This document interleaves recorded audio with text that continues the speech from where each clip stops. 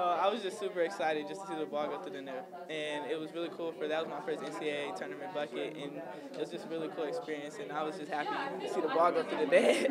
When you talk about the ups and downs for the team this year, how does it feel to sort of I don't want to say be on the other side of it necessarily, but you, you got everybody back. It feels almost like it did at the beginning of the season, doesn't it? It feels good. I mean, everyone's feeling good. The energy's back where it was at the beginning of the season when we are in preseason. So it's really cool to have that environment and that mantra about us that going forward in the tournament and see everybody getting their legs back and seeing everybody getting their fun. You've got a couple. You've got a couple days to get up under you, but and, and I know you don't take too long to sort of savor wins, but it's it's. It, please tell us, like, how how do you plan on at least enjoying it before moving on to?